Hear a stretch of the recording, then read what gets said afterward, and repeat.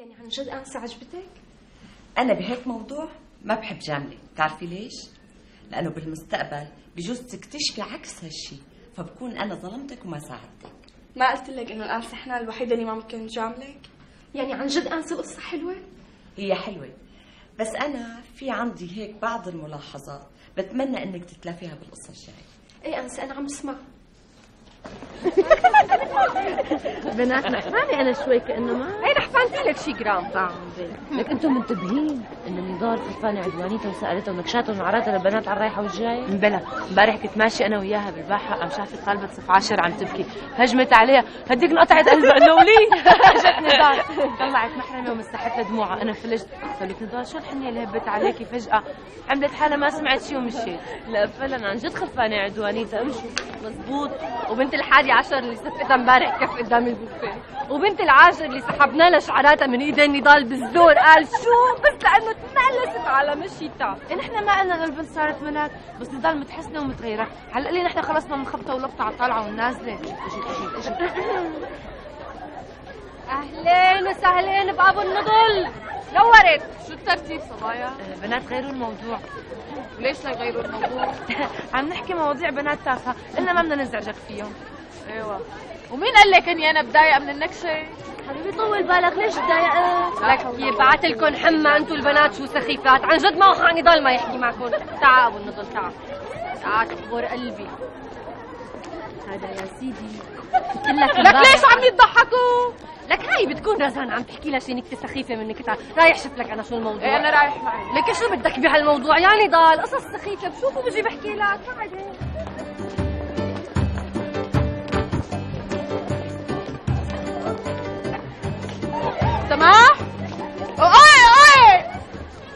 شوفي ياسمين قبل ما نبدأ بأي نظام غذائي بدي منك توقفي على المرايه وتقولي أنا حلوة وبحب حالي بس كمان بحب كون أحلى. وبعدين هالكليات الزايدة اللي مكومة هون وهون بدي دوبها لحتى ريح قلبي وعضلاتي. انسه كيف بدك يعني أحب حالي وأنا بهالموديل؟ إلا حتى تغيري هالموديل لازم تحبي حالك وبعدين بنبدا بالنظام الغذائي. وبطل أكل. نبطل أكل غلط بس نخفف أكل صح.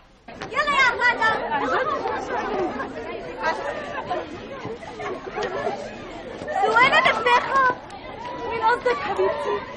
قصدي ياسمين التخينة. على علم القصة مو بالشكل ها في بنات كثير حلوين من برا بس من جوا فاضيين. حبيبتي أنا اللي بعرفه إنه اللي ما بيطول العين بيقول عنه حسرم لسه شوفت حالك رحتي لا لا لا لا. بدك تنتبهي معي كثير منيح. شوفت الحال. لما بتكون بمحلها يصير اسمها ثقة بالنفس. أيوه. على الحالة. رفيقتكم ياسمين السمينة. إيه ما عندها جنس ثقة بحالها. إيه بس على القليلة شاطرة. إيه إيه تروح تنقع شطارتها بمي وتشربها. امشي غادة. ولي ما أغلظك؟ ولي ما أغلظك؟ معقول يا بنات؟ قديش عنا نفسيات مريضة في المدرسة؟ بس ندلها لزمكة ما في. ولا رح تشوفي حبيبتي. بدي منك تخففي الأكل. وما تحرمي جسمك من أي شيء متعود عليه. لأنه بمجرد ما نوقف الرجيم رح نلاقي حالنا هجمنا على الأكل هجوم وحشي. وهالكليات اللي نزلناها بأسبوع رح نرجعها بيوم. اتأكدي تمام اللي بينزل بسرعة بيطلع بسرعة. بس أنا بدي أنحف أنسة طقيت من شكلي. إيه خطوة خطوة. بديتي تخففي فطورك وغداكي مثل ما اتفقنا؟ طبعا أنسة. طيب وقت بتجوعي شو عم تعملي؟ يعني عم بلتهي بأي شيء مشان أنسى الأكل. طيب ياسمين في نادي رياضي قريب من بيتكم؟ إيه في بأول الشارع. إلا كان من بكرة بتروحي بتسجلي فيه وبتلعبي رياضة وبدي منك كل يوم تمشي نص ساعة ساعة لأنه الرجيم بدون رياضة بيرخي العضلات وبيشوه الجسم. بس يا أنسة أنا المشي بتعبني بضيق لي نفسي. طبعا لأنه هالدهون المتراكمة فوق قلبك عم تتعبه وتضغط عليه.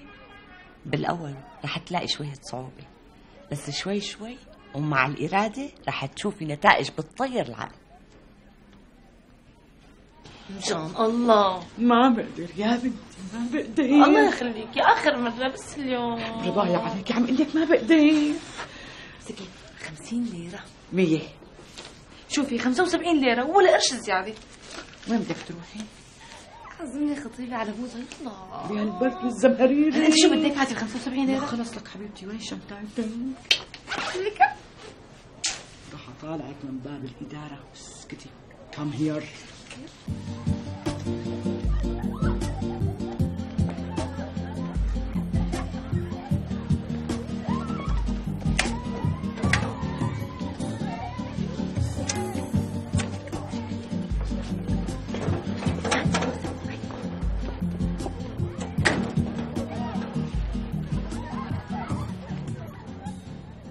انت متأكدة من هالحكي؟ طبعا متأكدة. شفت بعيوني هدول اللي بدها ياكلون الدود وهي عم تنط من فوق السور على الشارع.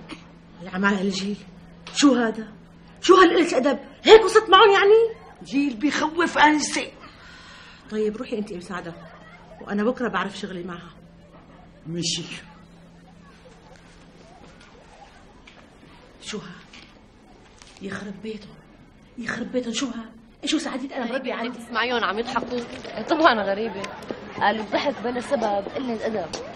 انت ما بتعرفي عن الأم وابي ما بيضحكوا إلا للشديد القوي. وبلكي وقتها كان حاصل هالشديد القوي. قلت رزان انت رجعتي طبيعية؟ يا بنات يا ناس يا عرف رزان رجعت طبيعية خلص لك أنا متأكدة إني وطلعت من هون ما حدا شافني. يعني كيف دريت الاداره بس بدي أسمع. يا خسارة ال 75 ليرة يا أم زفت. معقولة تكون هي اللي خبرتهم؟ لك هي ما في غيرها بتاخذ نوم تفسد من هون. فظيعة. إذا ما بدي حرمك إياها عادة الفسادة ما بيكون اسمي ريما. أنا بفرجيكي أنت ثانية بتعرفيها إنه هي عميلة للإدارة. وادم شلون بتقولي لها بدي أطلع بالبوصه أنا شو بيعرفني؟ لك أنا بده يعزمني على بوصة. شو بقول له؟ روقي يا مريم روقي. لسه بتقلي روقي لك لسه بتقلي روقي لك والله العظيم لو ما تشوفي السمع بقول لك هلا برات المدرسة. أبو ماصر تحمدي ربك. طولي بالك علي. طولي بالك علي والله إذا ما بفرجيكي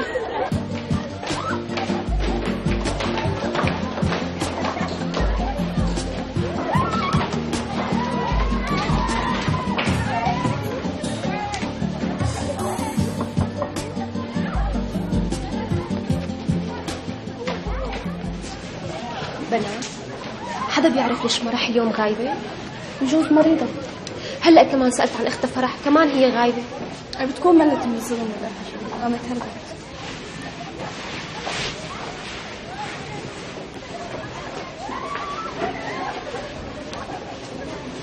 معقول تكون هربت؟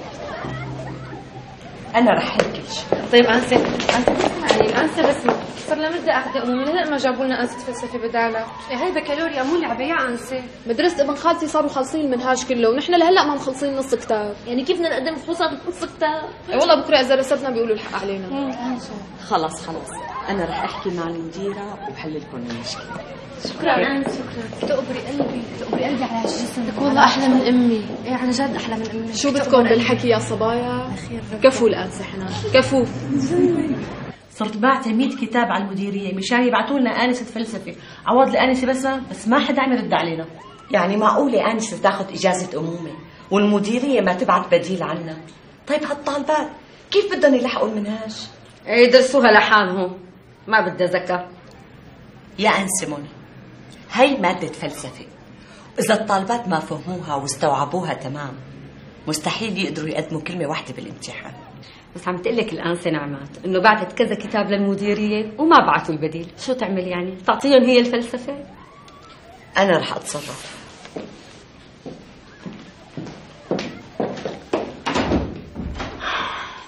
فكري حالها بتخاف على البنات أكثر مننا. إيه معها حق الانسه حنان فعلا المديرية تأخرت بايفاد البديل. شوفي هي السنة رح تخلص؟ طب شو بإيدنا نحن نعمل يعني؟ نقص حالنا نصين نص للفلسفة ونص يربي الجيل. بس ديري بالك تنشوفي بالكتاب عن الدروس لا تنسي إنه نحن هالسنه بكالوريا ليش بقدر؟ أصلا أهلي عاملين علي حساب. لك ما عيني أتنفس بحجة البكالوريا طبيعي هذا حقهم يخافوا عليكي ويهتموا فيكي أنا بقدر انظم وقتي بين الدراسة والكتابة. المشكلة الأهل هون ما بيحسبوها هيك ما هي هي مشكلتي الكبيرة؟ المشكلة إنه نحن ما نلحق المنهاج ونقدر نخلصه. هلا منهاجنا نحن بنقدر نخلصه ونعيده كمان. صدقوني الأستاذة والدورات اللي حاطين لي إياها أهلي مكرهيني حياتي. بتصدقي إنه صار لي سنتين عم أدرس بكالوريا؟ من لما نجحت بصف الحادي عشر والتحضير للبكالوريا بدأ. أول شيء حطوني بمدرسة صيفية وكان في وظائف وحفظ ومذاكرات وبعدين حطوني بدورات تقوية. وهلا أستاذ فايت أستاذ طالع اني يالك. حدا بصح له هذا الاهتمام بيكون متضايق؟